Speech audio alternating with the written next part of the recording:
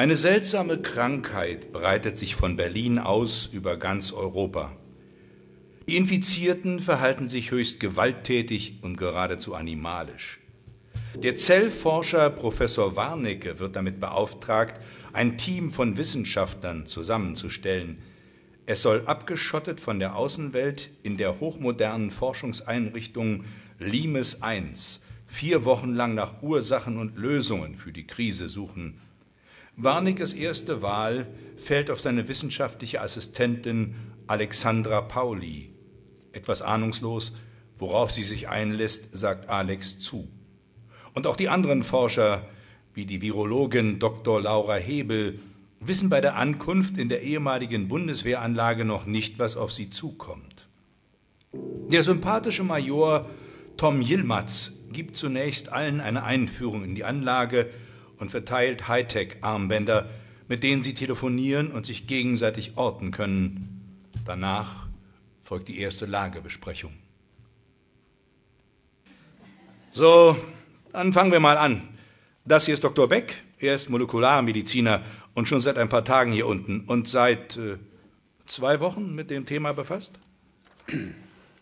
Beck nickt. Also er weiß alles, was wir noch nicht wissen, und darum gebe ich das Wort gleich an ihn weiter. Bitte schön. Ach ja, wir haben auch einige Nichtmediziner hier, also wenn es geht, allgemeinverständlich, ja? Warnecke setzt sich, Beck tritt an das Pult. Ja, natürlich. Also. Er blickt in die Runde, alle sind angespannt und neugierig.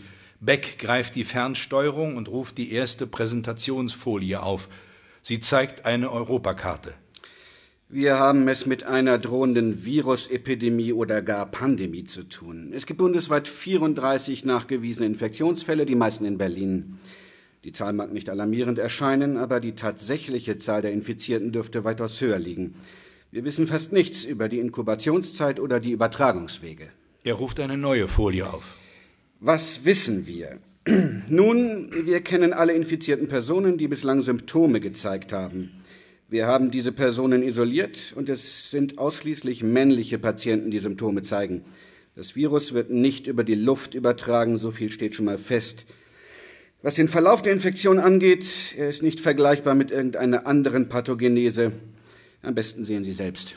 Er ruft eine neue Präsentationsseite auf, ein Video, das nun über die gesamte Wand projiziert wird. Es zeigt, eine Überwachungskamera liefert ein statisches Bild aus einer Raumecke man erkennt eine Tür, neben der ein Polizist in Uniform Wache steht. Auf einem Stuhl an einem Tisch sitzt ein Gefangener. Er ist nach vorn gebeugt, regungslos, seine Arme liegen auf der Tischplatte, er trägt Handschellen. Die Aufnahme stammt aus einem Verhörraum der Kriminalpolizei in Berlin. Der Mann, den Sie dort sehen, ist Bernd Wöhl, er ist 001, der erste nachgewiesene Infektionsfall. Die Aufnahme entstand vor 16 Tagen. Zu diesem Zeitpunkt sind schon deutliche physische Veränderungen und Verhaltensauffälligkeiten feststellbar. 001 war Lehrer für Geschichte und Deutsch an einem Gymnasium in Berlin und wurde von Familie und Kollegen als ruhig, sachlich und relativ unsportlich beschrieben, also mit anderen Worten als harmlos und schwächlich. Nun richtet sich 001 auf. Alle im Lagerraum können sehen, dass der Mann, der dort sitzt, alles andere als schwächlich erscheint. Er ist ein Muskelberg. Die Tür zum Verhörraum öffnet sich, zwei Zivilbeamte treten ein, ein Mann und eine Frau.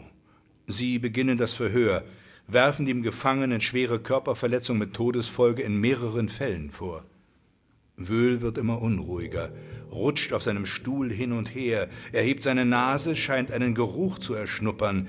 Dann urplötzlich springt er auf, stürzt sich auf den Zivilbeamten, packt ihn am Kopf und bricht ihm das Genick. Er lässt ihn fallen. Die Beamtin und der uniformierte Polizist ziehen ihre Waffen. Wöhl dreht sich um, schlägt der Frau mit der Rückhand ins Gesicht. Sie fällt über den Tisch, ist benommen, hat ihre Waffe verloren. Der Uniformierte ist erstarrt. Langsam dreht sich Wöhl zu ihm um, dann reißt er in einer schnellen Bewegung das Verbindungsstück seiner Stahlhandschellen auseinander. Der Polizist drückt ab. Wöhl wird in die Brust getroffen, aber das scheint ihn nicht besonders zu stören. Er macht einen Schritt nach vorn und rammt die scharfen Kanten der Handschellen von beiden Seiten in den Hals des Polizisten. Dann geht er zu der Beamtin, die immer noch benommen versucht, vom Tisch aufzustehen. Wöhl drückt sie auf die Platte, reißt ihr den Gürtel auf, dann die Jeans in Stücke, reißt ihr den Slipper runter, dann sich selbst seine Hose auf, vergewaltigt sie.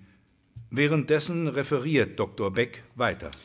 001 und die Frau, Hauptkommissarin Anja Weber, sind hier bei uns auf der Isolierstation.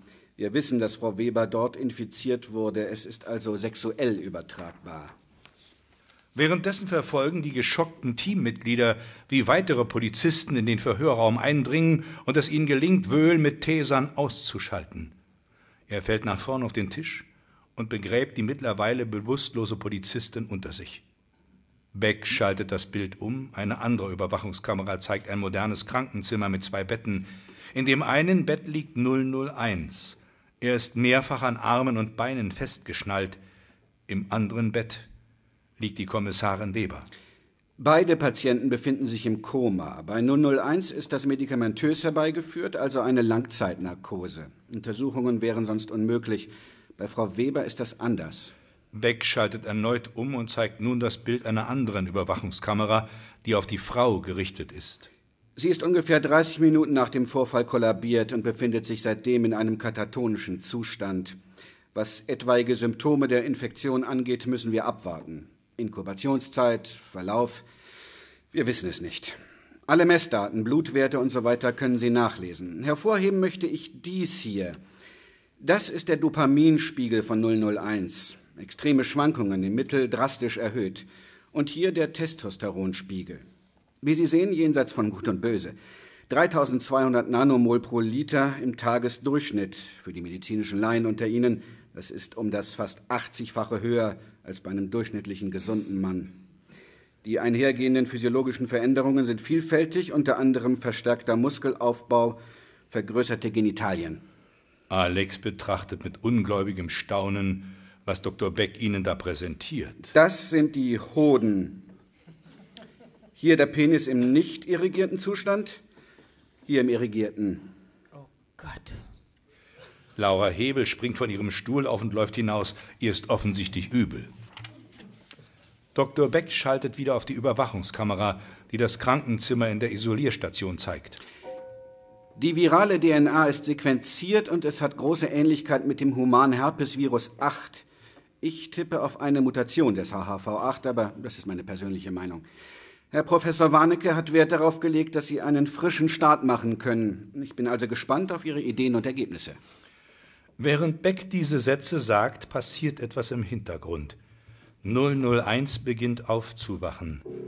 Zuerst kaum merklich, dann immer auffälliger bewegt er seine Gliedmaßen. Bald kommt Becks alarmierte Assistentin Nana Vercho ins Bild, ebenso zwei Soldaten.